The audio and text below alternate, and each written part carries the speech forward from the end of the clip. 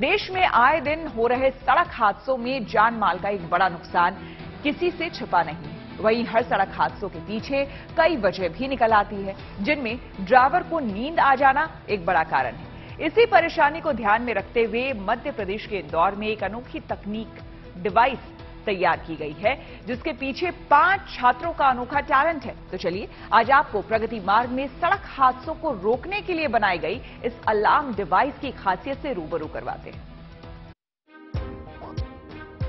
आग जैसी लगी है। इसका डेमोस्ट्रेशन तो इस प्रकार है।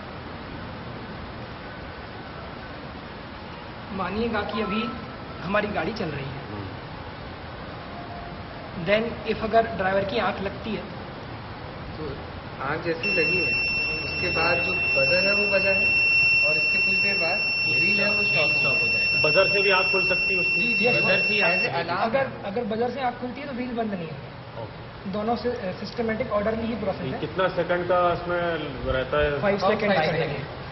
पाँच सेकंड बाद बजर बजेगा। यस पाँच सेकंड का टाइम इसलिए है कि जो झपकने लाइट्स ब्लिंक होती रहती है नॉर्मली पर अगर ये पाँच सेकंड सेकंड हो गए। इन छात्रों ने तो कमाल कर डाला।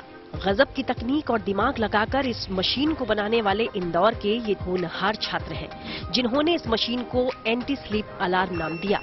तो जैसा नाम से ही समझ आ रहा है कि नींद को भगाने वाली डिवाइस दरअसल ये एक ऐसी अनोखी डिवाइस है जो खास तौर से घंटों गाड़ी चलाने वाले ड्राइवर्स के लिए बेहद उपयोगी साबित हो सकती है।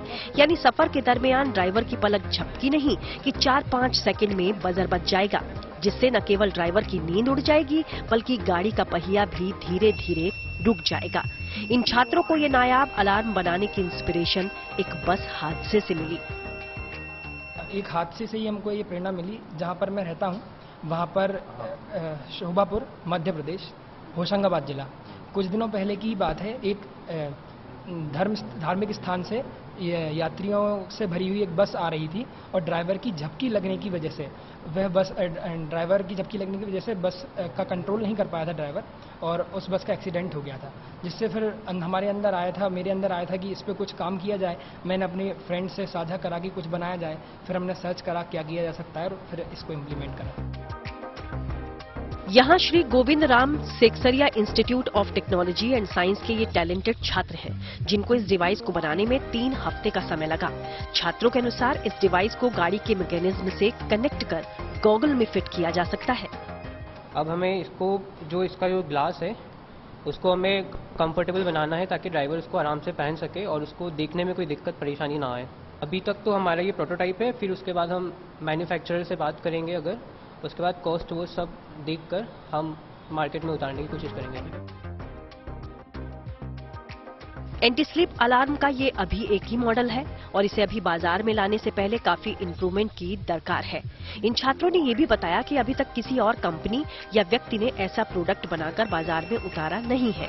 इन छात्रों की ये दिली ख्वाहिश है कि मध्य प्रदेश सरकार इस डिवाइस को अमल में लाए, जो ड्राइवरों के लिए एक वरदान साबित हो सकता है। बेशक एंटी स्लीप अलार्म का इजाद तकनीक से जुड़े इन छात्रों की बेहद बड़ी कामयाबी है।